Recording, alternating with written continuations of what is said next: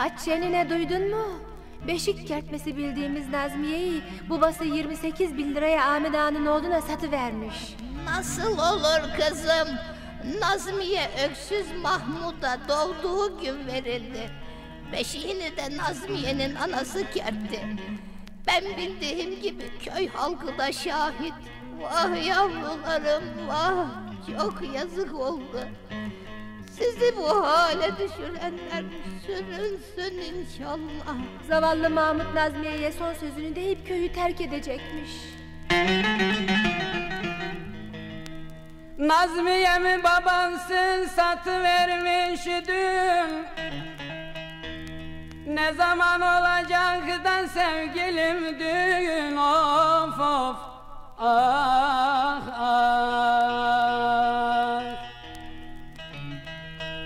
Fiyatını öğrendim 28 bin Nazmiyem bu parayı da bulamazdım sevgilim Nazmiyem sevgilim ah.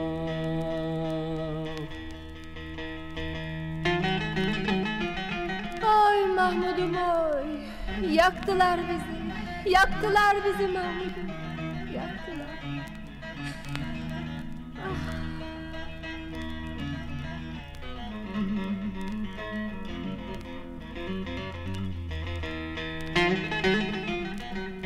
Anan kertmiş beşimizi ucundan. Bana verseler ölür müydün acından? Of of acından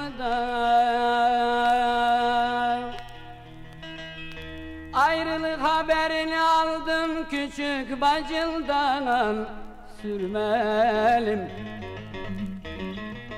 Büktüler belimi doğrultamam Nazmiyem Sevgilim Nazmiyem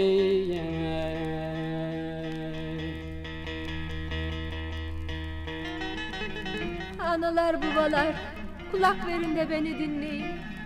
Benim şu halime bakın da ibret alın. Kızınızı sevdiğine verin benim gibi yakmayın. Benim gibi yakmayın. Ay. Beraber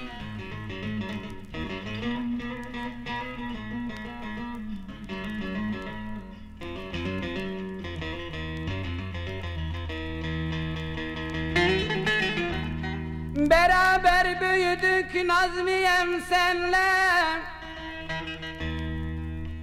Bütün köylü şahit hem de yeminle of Ah ah.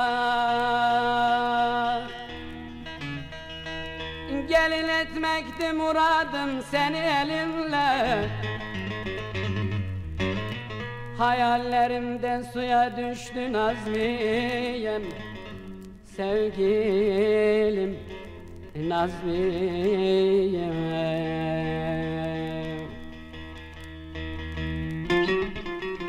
Ay Mahmud'um ay.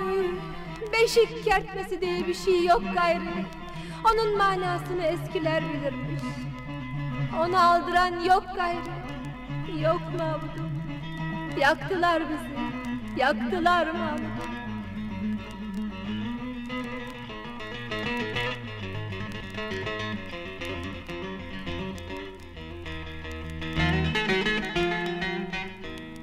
Mı gelecekti garip başıma.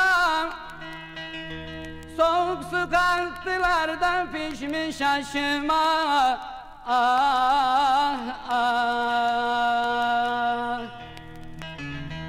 Bir daha göreyim gel de karşıma. Nazmiyem Köyüm bana haram oldu Nazmiyem Sevgilim Nazmiyem Göndermeyin Mahmud'umu komşular. Göndermeyin onu, ayırmayın bizi Mahmud'umu göndermeyin. Yollamayın onu komşular. Mahmud'um. Ay Mahmud'um oy. Yaktılar bizi. Yaktılar.